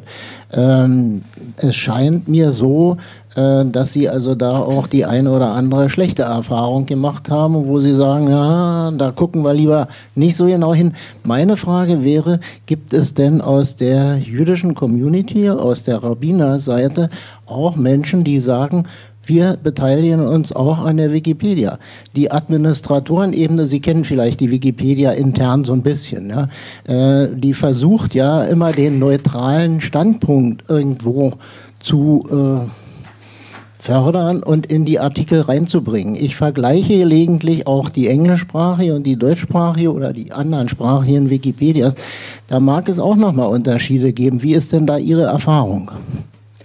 Meine Erfahrung in Bezug auf was? Auf die, also ob es äh, qualifiziertes Personal aus der jüdischen Gemeinde, äh, aus dem Rabbinertum gibt, die mitschreiben an der Wikipedia. Nicht über, das weiß ich nicht. Also ich, ich denke, dass es ein paar von unseren Leuten gibt, die in Wikipedia aktiv sind. Ich habe irgendwann mal, bin ich darauf aufmerksam gemacht worden, dass es über mich einen Wikipedia-Artikel gibt und den muss irgendjemand aus meiner Community geschrieben haben, wie sich aus den Inhalten ergibt. ähm, ich denke, wenn, wenn jemand, äh, es, es gibt andere Foren und Möglichkeiten, sich äh, qualifiziert über Judentum zu informieren. Wir haben zwei Rabbinerkonferenzen, eine orthodoxe und eine allgemeine Rabbinerkonferenz. Da hat jeder eine Homepage, jeder Rabbiner ist per E-Mail zu erreichen. Viele von unseren Kollegen haben äh, eine eigene Homepage, eine Website, auf der man direkt Fragen stellen kann. Also diese Form der Kommunikation von Gläubigen zu Rabbinern, die ist ganz, ganz direkt da. Äh, ob in, und inwiefern sich Kollegen von mir aktiv an Wikipedia beteiligen, das kann ich nicht sagen, das weiß ich nicht, das ist durchaus möglich. Was mir aufgefallen ist, bei den jüdischen Themata, um die es geht, da war Wikipedia immer eine völlig akzeptable Quelle. Da will ich gar nichts sagen. Ich, ich habe ein bisschen Bedenken, weil es eben so ein bisschen im luftleeren Raum steht. Und in anderen Kontexten hatte ich dann schon manchmal die Frage, habe ich mich selbst gefragt, kann man das jetzt wirklich so darstellen, wie Wikipedia das gesagt hat? Da bin ich dann, hm.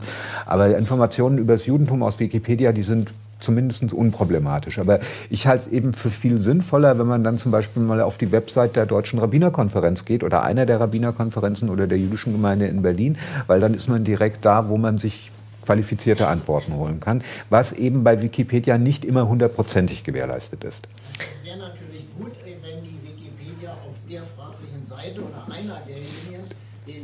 Hinweis als Internet äh, als Internetzugang zu der Rabbinerkonferenz anbieten würde. Das äh, wäre dann für den Nutzer auch eine Möglichkeit, von da aus dahin zu springen. Da Nur mal eine Idee. Da ja. müsste man gucken, das könnte, man, könnte ich eine E-Mail an Wikipedia schicken, ja. Nee, so einfach geht nicht. Nee, ja.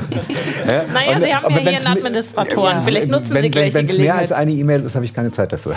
Aber ich finde, also, der, ich finde den Punkt gut, weil er korreliert sich auch mit dem, was, was du gesagt hast. Weil es ist schon so, natürlich natürlich gibt es sehr, sehr viel schlimme Sachen. Also mal eben googeln über bestimmte religiöse Traditionen ergibt ganz merkwürdige Ergebnisse.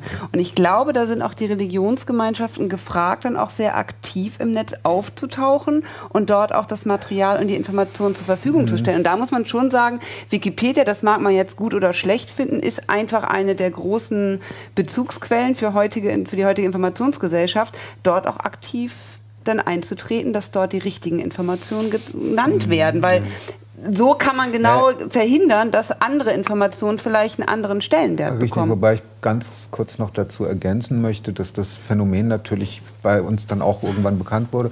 Und in den letzten zwei, drei Jahren haben verschiedene jüdische Webportale sich so verlinkt, dass sie bei ganz, ganz vielen Suchbegriffen zu Judentum als Erster in der Suchmaschine aufblinken. Was die Reaktion letzten Endes darauf war, dass man eben manchmal auf sehr mhm. fragwürdigen Seiten gelandet genau, ist. Ja. Mhm. Und es ist ja auch häufiger mal passiert, dass man auf so einer Wikipedia-Lookalike-Seite ja, ist und das ja. erst äh, beim Lesen Nee, und über Stirnrunzeln äh, merkt, äh, in welchem ja. Fahrwasser man da gerade unterwegs ja, ist. Da haben wir ganz andere Probleme als Muslime.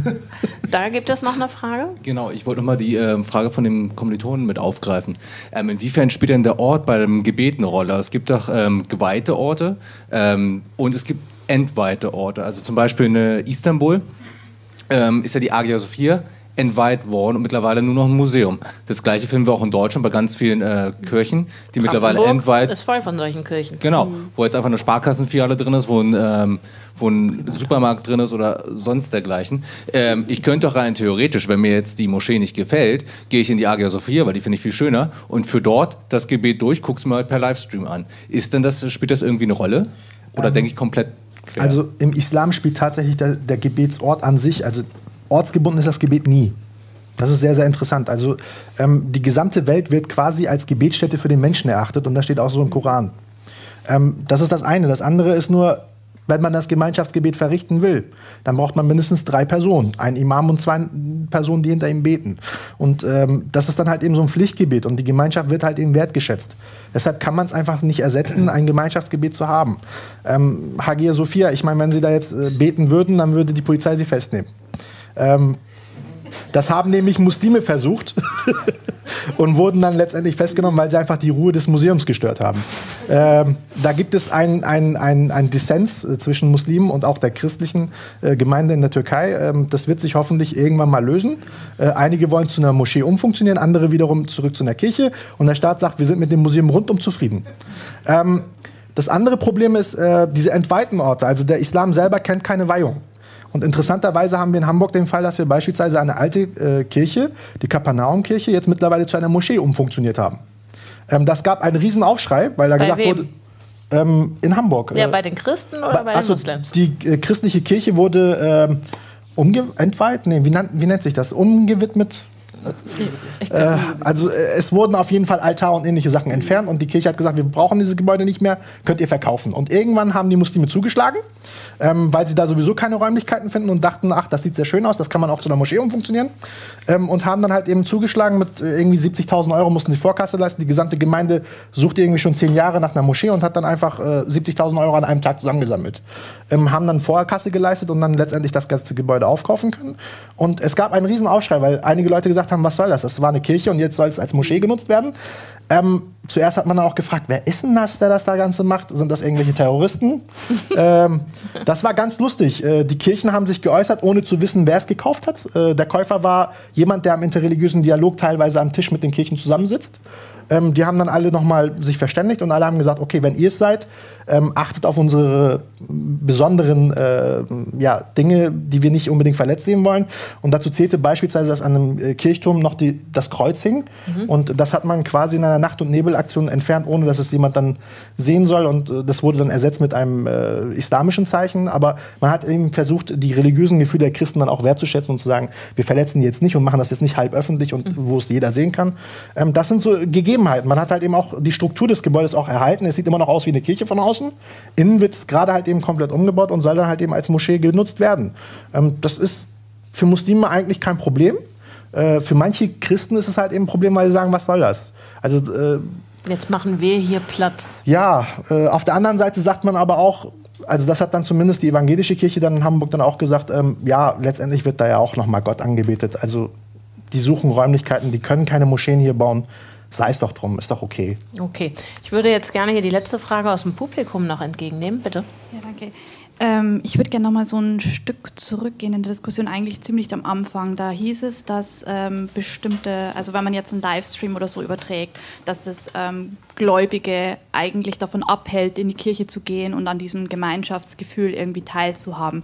Es gibt aber doch auf der anderen Seite auch genügend Menschen, auch junge Menschen und Kirchen, die einfach so ein bisschen äh, kritisch der Institution gegenüberstehen. Also ich sage jetzt mal, ähm, die vielleicht noch also wirklich glauben, aber jetzt dieser, äh, ich kenne es nur aus dem katholischen Glauben, äh, der Kirche äh, durch diverse Skandale einfach ihr nicht mehr anhängen oder auch jetzt äh, austreten.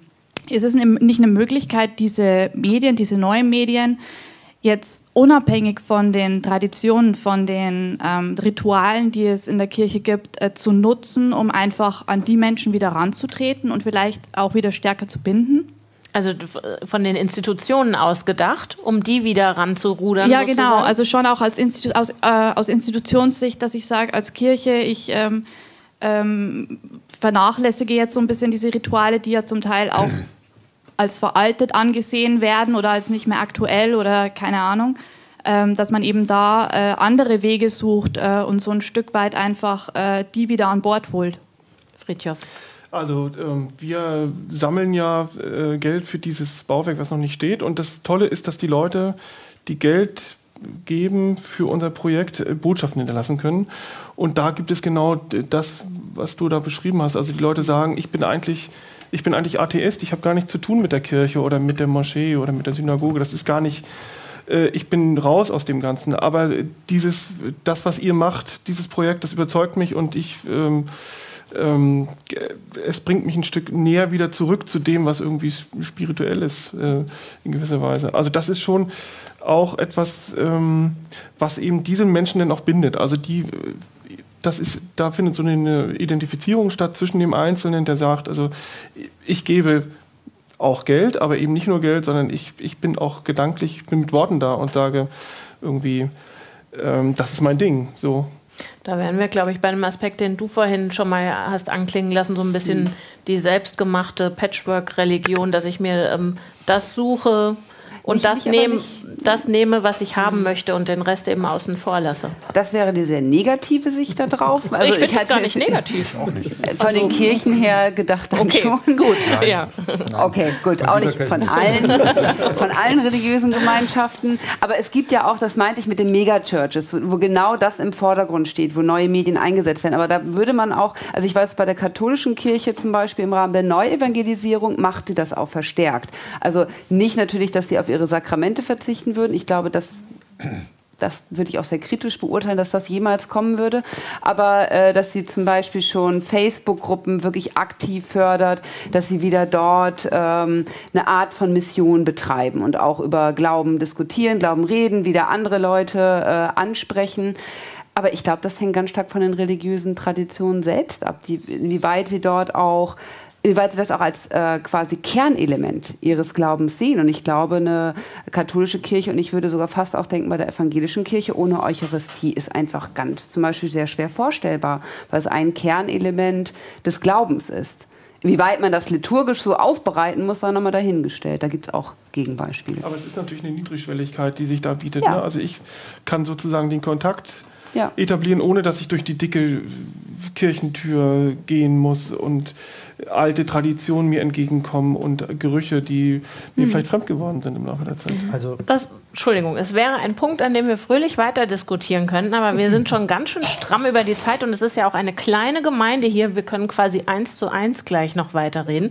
Ich würde euch ähm, gerne aber äh, reihum noch mal eins fragen. Wir sind in der Fastenzeit, also nach dem christlichen Kalender. Der Islam, das Judentum kennen auch Zeiten und Phasen des Verzichts und ähm, ich glaube, aus dem Publikum klang das vorhin schon mal an. Wir haben den heiligen Steve, äh, wir haben ähm, ja schon auch irgendwie so ein, so ein sakrales Image bei bestimmten Produkten. Der Touchscreen, das ist ja schon fast reliquienhaft, äh, wie mitunter wir uns danach verzehren, den zu berühren. Da würde ich gerne fragen, tut ihr euch denn ab und zu Abstinenz an. Also ähm, die Gretchenfrage nach dem Glauben muss ich, glaube ich, hier vorne nicht stellen, aber zumindest dann die nach, ähm, lasst ihr auch mal die Finger da raus und nehmt äh, das gedruckte Buch und geht in den Kirchen, Synagogen, Moscheeraum oder ist das ähm, zu 1980 gedacht, wirklich zu sagen, das ist das eine und das ist das andere? Machen wir vielleicht hier mal so ein Speeddating rum. Ich gehe auf jeden Fall in die Kirche, ähm, aber das ist schwierig, das äh, andere wegzulegen. Und das ist in der Tat ein Gedanke, der mir in den letzten Tagen gekommen ist, doch mal wieder offline zu gehen. Okay, dieses digitale Abstinenzlertum ist ja auch seit Jahren ein Thema, auf dem sich erfolgreich Bücher schreiben lassen und so. Also das ist für dich zumindest es schon. Es ist schwierig, es geht gar nicht. Also ich, ich, wir haben ja auch eine Verantwortung. Also ich meine, da draußen ist, äh, wir haben eine Gemeinde von 3000 Facebook-Followern, die ähm, der EKD-Ratsvorsitzende hat sich jetzt neulich verabschiedet in seinen Urlaub. Ich glaube, das ähm, geht bei uns nicht. Geht es bei dir? Willst du es überhaupt? Ist das ein Gedanke, den du oh, Ich äh, mache das regelmäßig. Also ähm, es ist dann eher so, dass ich das einerseits bei der Fastenzeit dann auch mache, also im Ramadan, ähm, dass ich dann einfach sage, okay, ich trete jetzt einfach kürzer. Ähm, letztes Jahr ging das nicht, weil ich beruflich einfach in einem Online-Projekt für Muslime aktiv war. Ähm, da konnte ich leider nicht äh, komplett abschalten, aber ähm, ich mache das regelmäßig, äh, indem ich einfach sage, jetzt bleibt mal komplett Handy, Internet, alles aus. Ähm, wenn mich jemand erreichen will, dann weiß er, wo ich wohne. Ähm, das wissen dann auch die Jugendlichen, die dann irgendwie Probleme haben und äh, die wissen dann auch, dass sie in der Zeit dann mich nach Möglichkeit nicht stören sollen. Ähm, ich mache das immer regelmäßig. Es tut auch gut. Also ein bisschen Abstand gewinnen und dann auch nochmal wieder reinschauen. Das äh, sorgt auch dafür, dass man so ein bisschen sich selbst auch so ein bisschen reflektiert, aber auch die anderen Geschichten auch ein bisschen ernster nimmt. Also was ich nur ganz kurz, also es gibt viele Muslime, die einfach nur Muslime heißen, aber es kaum leben. Also das muss man dann immer wieder betonen. Ähm, die Mehrheit der praktizierenden Muslime sind zwar im Fokus, aber die meisten Muslime sind nicht mal in einer Moscheegemeinde organisiert. Also das muss ich mir dann auch immer wieder bewusst machen und dann sagen, okay, vielleicht müssen wir auch ein bisschen intern ein bisschen missionieren. Mhm. Ähm, aber äh, das, wird man, das wird einem nur erst klar, wenn man dann wirklich mal abschaltet und sich das mal etwas von der Distanz auch anschaut. Mhm. Suchst du die auch, die Distanz? Daniel? Also ich bin äh, sowieso einmal in der Woche für 25 Stunden am Stück offline, weil ich äh, Schabbat den Computer auslasse und dann jüdischen Feiertagen. Mhm. Wie ist es bei dir? Ähm, eher weniger. Also ich werde zwei Wochen im Jahr gezwungen von meiner Familie, aber die Rückfallquote ist sehr hoch, weil man dann doch selbst in anderen Ländern Internetzugang bekommt. okay. Also, ja. Vielen Dank euch vielen hier vorne. Und wie gesagt, wir können noch weiter diskutieren, entweder ähm, fastenmäßig mit Wasser und Brot. Es wird aber auch anderes gereicht. Ich möchte euch noch äh, sagen, was hier demnächst so passiert. Ähm, am Mittwoch, den 25. März, haben wir hier eine Derniere. Dann ist der digitale Salon zum letzten Mal hier. Dann zum zivilen Ungehorsam. Und ähm, dieser Salon, dessen Titel ich äh, gerne nochmal lobpreisen möchte, lasset uns tweeten, hat mir einfach so gut gefallen, der morpht sich zum Hörsaal und ist als solcher dann am Sonntag, den 15. März zu hören auf D-Radio Wissen. Danach auch online abrufbar. Vielen Dank, schönen Abend euch noch. Und euch auch vielen Dank.